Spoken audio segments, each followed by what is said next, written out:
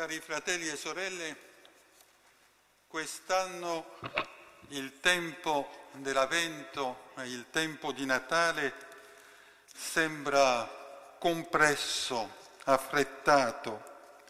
Appena avevamo acceso la quarta candela della corona dell'Avvento, che già era la notte della Natività.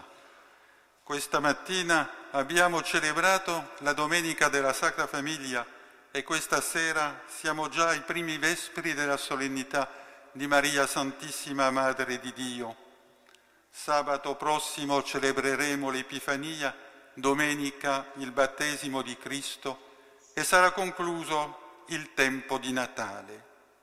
Sembra una illustrazione di quanto osserva San Paolo nella prima lettera ai Corinzi. Tempus breviatum est, il tempo si è fatto breve. Questa considerazione può apparire scontata, per non dire banale, ma può essere anche di aiuto per la nostra meditazione in questo ultimo giorno dell'anno in cui ringraziamo il Signore per l'anno che si conclude ed imploriamo la sua protezione su quello che si apre davanti a noi.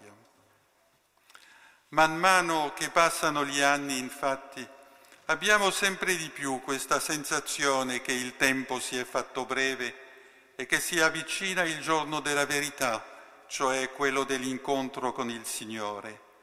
Non è soltanto il sentimento che il numero dei nostri giorni è contato, ma soprattutto la presa di coscienza che siamo fragili in mezzo ad un mondo minacciato da tanti pericoli e in cui tutto quello che possiamo desiderare è illusorio o effimero se non lo viviamo alla luce della fede e nella compagnia e nell'attesa del Signore. Egli solo è la nostra speranza e la nostra forza. È per questo che contempliamo con amore il bambino nato a Betlemme, inviato dall'Eterno Padre per riconciliarsi l'umanità. Come lo ricorda il Vangelo di oggi, al bambino fu messo il nome di Gesù, conformemente a quanto annunciato dall'angelo, ciò che vuol dire Dio salva. Sì, veramente Gesù è il Salvatore. Nella seconda lettura abbiamo sentito le parole di San Paolo quando venne la pienezza del tempo, Dio mandò suo figlio. Non è certo una ipotetica maturazione del tempo umano che determinò l'incarnazione del Verbo, bensì il piano di Dio, cioè il momento da lui deciso per la realizzazione delle sue, promesse, momento al quale nel quale il tempo degli uomini raggiunse la sua pienezza. Il Santo Padre nella messa di, del primo gennaio di due anni fa rilevava la pienezza del tempo e la presenza di Dio in prima persona nella nostra storia. Ora possiamo vedere la sua gloria che risplende nella povertà di una stalla ed essere incoraggiati e sostenuti dal suo verbo fattosi piccolo in un bambino. Grazie a lui il nostro tempo può trovare la sua pienezza. Anche il nostro tempo personale troverà la sua pienezza nell'incontro con Gesù Cristo, Dio fatto uomo. Ed aggiungeva, attraverso Maria, attraverso il sì, è giunta la pienezza del tempo il Vangelo che abbiamo ascoltato dice che la Vergine custodiva tutte queste cose meditandole nel suo cuore. Ella si presenta a noi come vaso sempre colmo della memoria di Gesù, sede della sapienza da cui attingere per avere la coerente interpretazione del suo insegnamento. Oggi ci offre la possibilità di cogliere il senso degli avvenimenti che toccano noi personalmente le nostre famiglie, i nostri paesi e il mondo intero. dove non può arrivare la ragione dei filosofi, nella trattativa della politica la può giungere a forza della fede che porta la grazia del Vangelo di Cristo.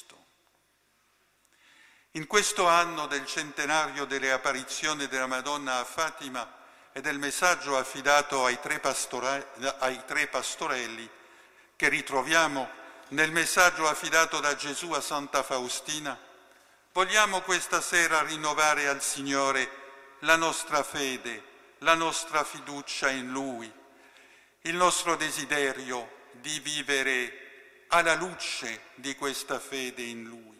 Vogliamo ripetere Gesù confido in te, ricordando, ricordando le parole della Madonna a Cova di Iria, alla fine il mio cuore immacolato trionferà. È per questo che Gesù è nato noi, fra noi, per manifestare a tutti la misericordia del Padre e comunicarci la sua vita.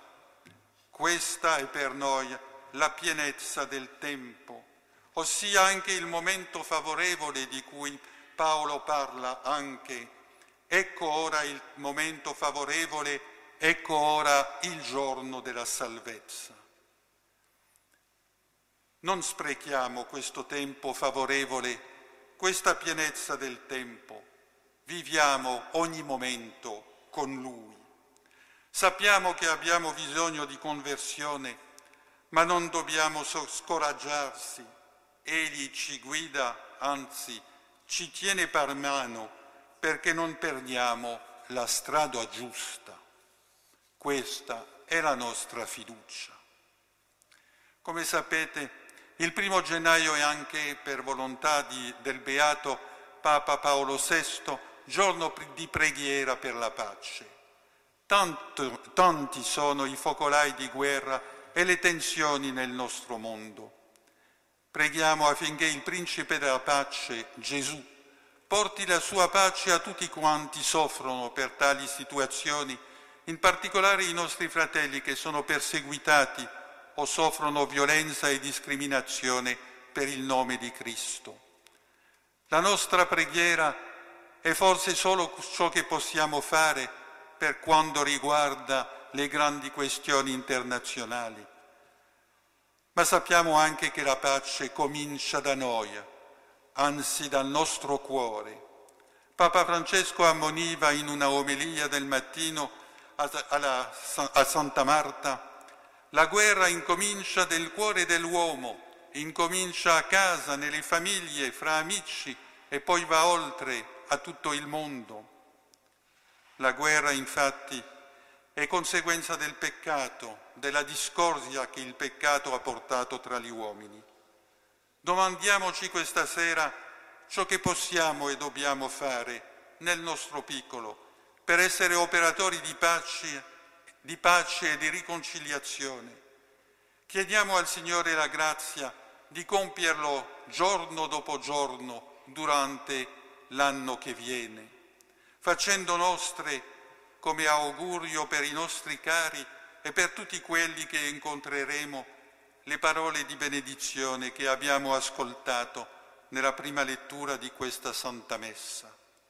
Ti benedica il Signore e ti custodisca. Il Signore faccia risplendere per te il suo volto e ti faccia grazia. Il Signore rivolga a te il suo volto e ti conceda pace. Amen.